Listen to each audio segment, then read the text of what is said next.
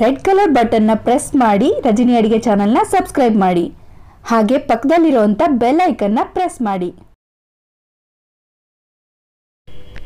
Hi friends welcome to Rajani ಅಡಿಗೆ. ತುಂಬಾ ಸುಲಭವಾಗಿ ಟೇಸ್ಟಿಯಾಗಿರುವಂಥ ಈ ಸೂಪ್ನ ಯಾವ ರೀತಿ ಮಾಡೋದು ಅನ್ನೋದನ್ನು ನೋಡೋಣ. ಅದಲ್ಲದೆ ನೀವು ಎಲ್ಲರೂ ಈಸಿಯಾಗಿ ಈ ಸೂಪ್ನ ಮಾಡ್ಬೋದು. ಮಳೆಗಾಲದಲ್ಲಿ ತುಂಬಾ ಟೇಸ್ಟಿ ಹೆಲ್ದಿ ಕೂಡ ಆರೋಗ್ಯಕ್ಕೆ ತುಂಬ ಒಳ್ಳೆಯದು ರೆಸ್ಟೋರೆಂಟ್ ಸ್ಟೈಲಲ್ಲಿ ಸೂಪ್ನ ಮಾಡೋದನ್ನು ನೋಡೋಣ. ಈಗ ಒಂದು ಪ್ಯಾನ್ನ ಇಲ್ಲಿ ಬಿಸಿಯಾಗೋದಕ್ಕೆ ಇಟ್ಟಿದ್ದೀನಿ.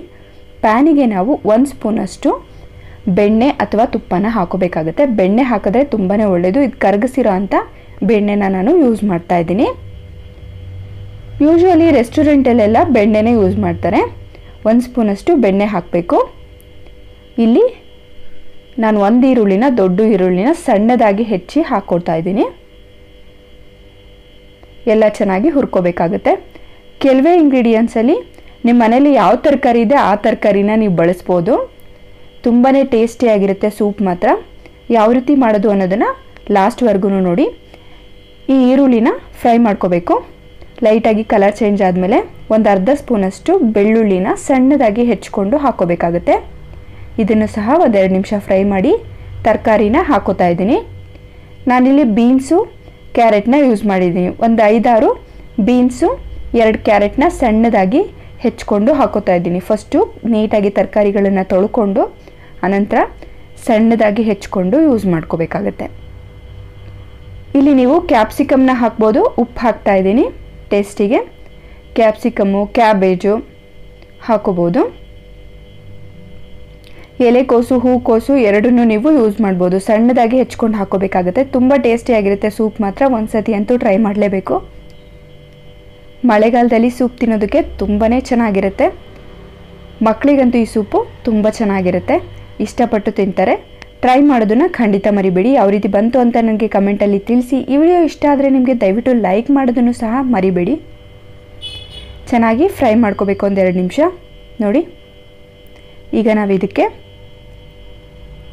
ಆರುನೂರು ಎಂ ಎಲ್ ಅಷ್ಟು ನೀರು ಹಾಕೋಣ.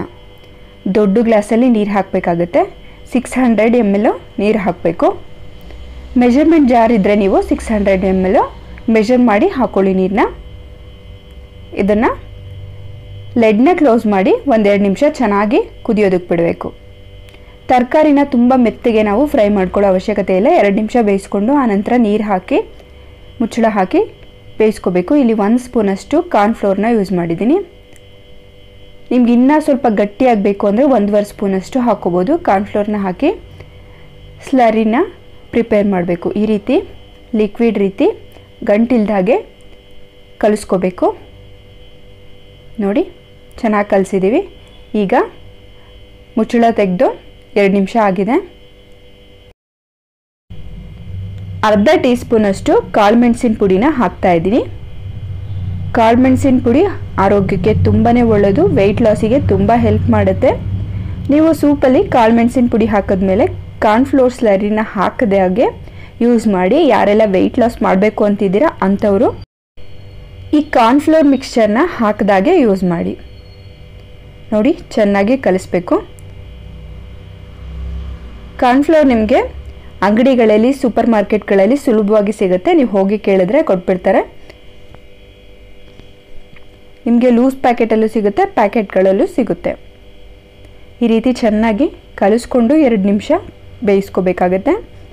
ಕಾರ್ನ್ಫ್ಲೋರ್ ಚೆನ್ನಾಗಿ ಬೇಯಬೇಕು, ಹಸಿ ಹಸಿ ಇದ್ದರೆ ಚೆನ್ನಾಗಿರಲ್ಲ, ಎರಡರಿಂದ ಮೂರು ನಿಮಿಷ ನೀವು ಚೆನ್ನಾಗಿ ಬೇಯಿಸ್ಕೋಬೇಕು. ವೆಯ್ಟ್ ಲಾಸ್ ಮಾಡೋರು ಅದನ್ನು ಸ್ಕಿಪ್ ಮಾಡಿ ಕಾರ್ನ್ಫ್ಲೋರ್ ಮಿಕ್ಸ್ಚರನ್ನ ಸ್ಕಿಪ್ ಮಾಡಿ ಯೂಸ್ ಮಾಡಿ. ಈ ರೀತಿ ಚೆನ್ನಾಗಿ ಮಿಕ್ಸ್ ಮಾಡಿ ಮೂರು ನಿಮಿಷ. ಇದನ್ನು ಸರ್ವ್ ಮಾಡೋದಷ್ಟೇ, ಮೇಲ್ಗಡೆ ಕೊತ್ತಂಬರಿ ಸೊಪ್ಪನ್ನು ಹಾಕಿ ನೀಟಾಗಿ ಸರ್ವ್ ಮಾಡಿದ್ರೆ ತುಂಬಾ ಟೇಸ್ಟಿಯಾಗಿರುತ್ತೆ ನೋಡೋದಕ್ಕೂ ಅಷ್ಟೇ ಚೆನ್ನಾಗಿರುತ್ತೆ, ಅಷ್ಟೇ ಟೇಸ್ಟಿಯಾಗಿರುತ್ತೆ ನಮ್ಮ ಮನೆಯಲ್ಲೆಲ್ಲರೂ ಇಷ್ಟಪಟ್ಟು ತಿಂದರು. ಟ್ರೈ ಮಾಡೋದನ್ನು ಖಂಡಿತ ಬರಿಬೇಡಿ. ಯಾವ ರೀತಿ ಬಂತು ಅಂತ ಕಮೆಂಟಲ್ಲಿ ತಿಳಿಸಿ. ಈ ವಿಡಿಯೋ ಇಷ್ಟ ಆದರೆ ರಜನಿ ಅಡುಗೆ ಚಾನಲ್ನ ಲೈಕ್ ಮಾಡಿ ವಿಡಿಯೋನ ಆದಷ್ಟು ಶೇರ್ ಮಾಡಿ. ಥ್ಯಾಂಕ್ಸ್ ಫಾರ್ ವಾಚಿಂಗ್ ಮತ್ತಷ್ಟು ಸಿಂಪಲ್ ಈಸಿ ರೆಮಿಡಿಗೋಸ್ಕರ ರಜನಿ ಅಡುಗೆ ಚಾನಲ್ನ ನೋಡ್ತಾ ಇರಿ. ಇದನ್ನು ನಾನು ನಿಮಗೆ ಸರ್ವ್ ಮಾಡಿ ತೋರಿಸ್ತೀನಿ. ತುಂಬಾ ಟೇಸ್ಟಿಯಾಗಿರುವಂಥ ವೆಜಿಟೇಬಲ್ ಸೂಪ್ ರೆಡಿಯಾಗಿದೆ ವೆಜಿಟೇಬಲ್ ಕಾರ್ನ್ಫ್ಲೋರ್ ಸೂಪ್ನ ನೀವು ಸಹ ಟ್ರೈ ಮಾಡಿ ಯಾವ ರೀತಿ ಬಂತು ಅಂತ ತಿಳಿಸಿ. ನಿಮ್ಗೆ ಯಾವುದೆಲ್ಲ ವೀಡಿಯೋಸ್ ಬೇಕು ಅನ್ನೋದನ್ನು ಕಮೆಂಟ್ ಮಾಡಿ ತಿಳಿಸಿ. ಈ ಸೂಪ್ನ ಬಿಸಿ ಬಿಸಿಯಾಗಿ ತಿಂದರೆ ತುಂಬ ಚೆನ್ನಾಗಿರುತ್ತೆ. ಮಕ್ಕಳಿಗೆ ಆರೋಗ್ಯಕ್ಕೆ ತುಂಬಾ ಒಳ್ಳೆಯದು ರೆಸ್ಟೋರೆಂಟ್ಗೆ ಹೋಗೋದಕ್ಕೆ ಹೇಗೂ ಆಗ್ತಾ ಇಲ್ಲ ಕೊರೋನಾದಿಂದ ಮನೇಲೇ ಟ್ರೈ ಮಾಡಿ. ಥ್ಯಾಂಕ್ಸ್ ಫಾರ್ ವಾಚಿಂಗ್ ಮತ್ತಷ್ಟು ಸಿಂಪಲ್ ರೆಸಿಪಿಗೋಸ್ಕರ ರಜನಿ ಅಡುಗೆ ಚಾನಲ್ನ ನೋಡ್ತಾ ಇರಿ. Thank you